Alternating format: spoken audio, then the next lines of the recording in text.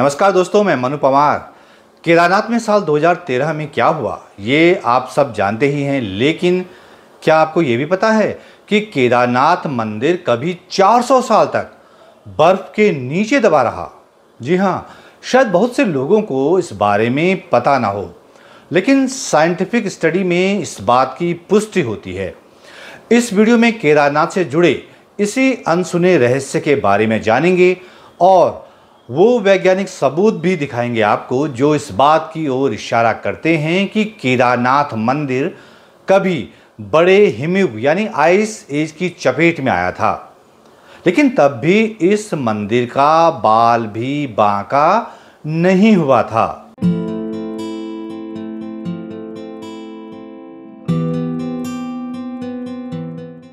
तो केदारनाथ के रहस्य को समझने से पहले मैं आपको बता दूँ कि देहरादून में अंतर्राष्ट्रीय ख्याति प्राप्त इंस्टीट्यूट है Wadia Institute of Himalayan Geology जो कि भारत सरकार की विज्ञान और प्रौद्योगिकी मंत्रालय का एक स्वायत्त शासी शोध संस्थान है। इसकी स्थापना उन्नीस सौ अड़सठ में की गई थी। इसी संस्थान के एक रिटायर्ड साइंटिस्ट हैं प्रोफेसर रविंद्र कुमार चौजड़, जिन्होंने की ग्लेशियर पर स्टडी की है। उन्होंने केदारनाथ के ऊपरी हिस्से में स्थित चोराबड़ी ग्लेशियर के मोराइन मतलब जो मलबा जो ग्लेशियर अपने पीछे छोड़ जाता है, उसकी चट्टानों पर उगने वाले लाइकेन की स्टडी की। प्रोफेसर चौधरी की स्टडी की निष्कर्षों की जो हाइलाइट्स हैं उसके मुताबिक केदारनाथ मंदिर यहाँ पर ग्लेशियर की मौजूदगी से पहले का बना हुआ है। केदारनाथ के इर्द गिर्द ग्लेशियर छोटे हिमयुग के दौरान पैदा हुआ। केदारनाथ मंदिर के इर्द गिर्द संभवतः पंद्रहवीं सदी के मध्य में ग्लेशियर विकसित हुआ और वो ग्लेशियर सन 1748 तक रहा। यानी इसका मतलब ये हुआ कि केदारनाथ मंदिर करीब 400 साल तक बर्फ़ के नीचे दबा रहा।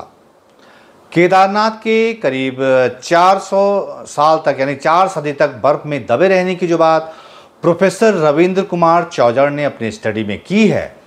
आ, उनका वो रिसर्च पेपर साल 2009 में करंट साइंस नाम के एक ख्याति प्राप्त जर्नल में पब्लिश हुआ है। वाडिया इंस्टीट्यूट ऑफ़ जियोलॉजी की तरफ़ से केदारनाथ मंदिर की चट्टानों पर एक लिग्नोमैटिक डेटिंग का परीक्षण किया गया है।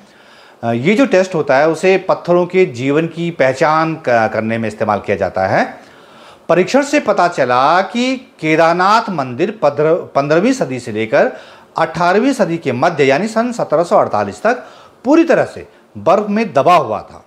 हालाँकि इसके बावजूद मंदिर को कोई नुकसान नहीं हुआ। इसकी वजह यह रही कि मंदिर की दीवारें मोटी और मज़बूत चट्टानों से बनी हुई हैं। इस मंदिर के जो खंबे हैं, वो भी बेहद मज़बूत चट्टानों से बने हुए हैं।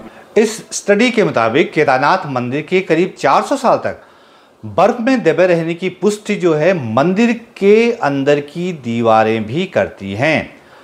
मंदिर के अंदर दीवारों पर ये जो पीली रेखाएँ या पीली पट्टियाँ दिख रही हैं, ये केदारनाथ मंदिर के किसी ज़माने में, ग्लेशियर में दबे होने की पुष्टि करती हैं। प्रोफेसर चौजर ने अपनी स्टडी में केदारनाथ मंदिर की अंदर की दीवारों पर ग्लेशियर की वजह से चमक और धारियाँ, यानी पट्टियाँ पाई हैं। उनका कहना है कि इन पट्टियों से ग्लेशियर के बहाव की दिशा का भी पता चलता है। मतलब ये कहा जा सकता है कि जब केदारनाथ मंदिर बर्फ़ में दबा रहा, तब वो भारी भरकम ग्लेशियर मंदिर की दीवारों पर अपनी रगड़ छोड़ गया, अपनी निशानियाँ छोड़ गया। लेकिन अब प्रश्न ये उठता है कि क्या केदारनाथ में उससे पहले ग्लेशियर नहीं था? क्या उससे पहले कोई हिमयुग नहीं आया होगा? साइंटिस्ट प्रोफेसर चौजड़ की स्टडी से पता चलता है कि जब केदारनाथ मंदिर बनाया गया, तब यहाँ पर ग्लेशियर की मौजूदगी नहीं मिलती। उन्होंने इसका अनुमान लगाया है केदारनाथ मंदिर की बैक साइड की बाउंड्री वॉल पर तमिल में लिखी गई कविताओं के ज़रिए। ये छठवीं, सातवीं सदी के तमिल कवि, तिरुज्ञान संबंधर और आठवीं सदी के तमिल कवि सुंदर मूर्ति की रचनाएँ हैं, जिन्होंने केदारनाथ की महिमा पर तमिल में कविताएँ लिखी हैं। उनका ज़िक्र इस बाउंड्री वॉल पर किया गया है। दोनों तमिल कवियों की कविताओं में केदारनाथ की खूबसूरती का ज़िक्र तो है, लेकिन बर्फ़ और ग्लेशियर का कोई उल्लेख नहीं मिलता। इन दोनों तमिल कवियों की मूर्तियाँ बाउंड्री वॉल पर उकेरी गई हैं और उनके बारे में वहाँ पर लिखा भी गया है, हिंदी में और अंग्रेज़ी में। इससे जो है दोस्तों, तीन सब संभावनाएँ पैदा होती हैं। नंबर एक इससे ये पता चलता है कि जब केदारनाथ मंदिर बना था, तब इसके आसपास के इलाके में कोई ग्लेशियर मौजूद नहीं था। और नंबर दो, अगर ग्लेशियर रहा भी होगा तो हो सकता है कि केदारनाथ मंदिर जहाँ आज मौजूद है, वो ग्लेशियर उससे काफ़ी दूर रहा होगा। और नंबर तीन केदारनाथ में ग्लेशियर रहा होगा और ग्लेशियर को काट कर ही मंदिर बना होगा। ये तीसरी संभावना है।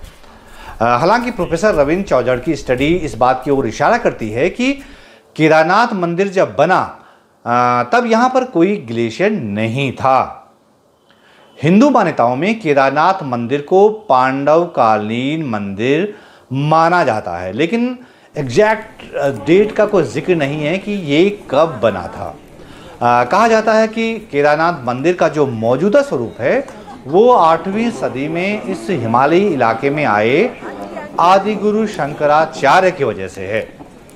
प्रोफेसर चौजड़ का रिसर्च पेपर साल 2009 में करंट साइंस में प्रकाशित हुआ है और केदारनाथ में वैज्ञानिकों को हिमयुग के सबूत पंद्रहवीं से अठारहवीं सदी के बीच मिले हैं। यानी केदारनाथ में पंद्रहवीं सदी से अठारहवीं सदी के बीच हिमयुग आया, जिसे अंग्रेज़ी में आइस एज कहते हैं। इसी दौरान करीब चार सदी तक केदारनाथ मंदिर बर्फ़ के बीच दबा रहा। लेकिन हैरानी की बात यह है कि तब भी मंदिर का कुछ नहीं बिगड़ा। साइंटिस्ट प्रोफेसर चौजड़ के अनुसार केदारनाथ इलाके में सन 1748 में हिमयुग अपने पीक पर था और उसके बाद वो पीछे हटने लगा। केदारनाथ में ग्लेशियर के पीछे खिसकने की तीन मेजर स्टेज बताई गई हैं। पहली सन 1766 में, दूसरी सन 1827 में और तीसरी सन 1878 में। वैसे केदारनाथ के इतिहास में अब तक की सबसे बड़ी त्रासदी एक ग्लेशियर की वजह से ही आई।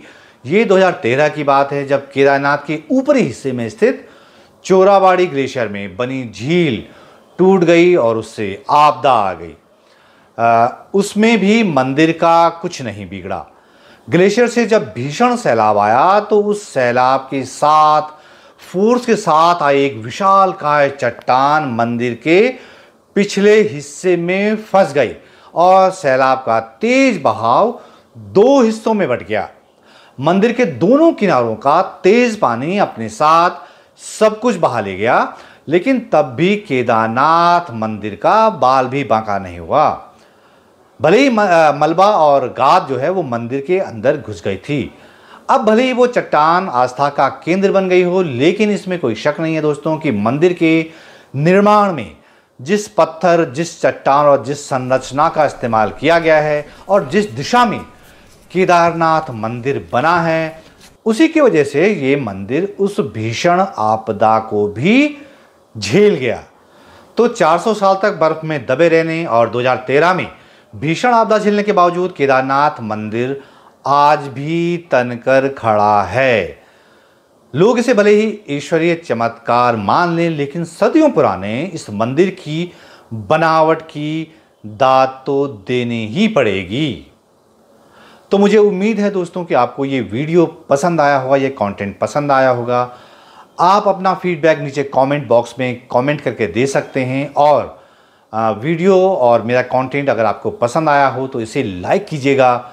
दूसरों तक फॉरवर्ड कर दीजिए और हाँ अगर आप मेरे यूट्यूब चैनल पर पहली बार आ रहे हैं तो चैनल को फटाफट सब्सक्राइब करना नहीं भूलिएगा। बेल आइकन पर क्लिक करेंगे तो ये सुनिश्चित हो जाएगा कि आप तक मेरे हर नए वीडियो की सूचना सबसे पहले पहुँच जाएगी। तो ये वीडियो देखने के लिए दोस्तों आपका बहुत बहुत धन्यवाद और मिलते हैं जल्द एक नए वीडियो के साथ। तब तक के लिए नमस्कार।